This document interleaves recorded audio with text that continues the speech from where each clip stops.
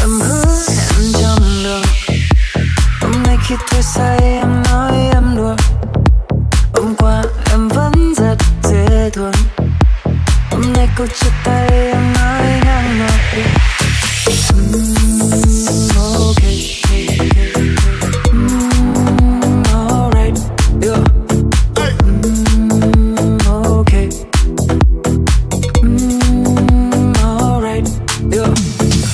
alle nander.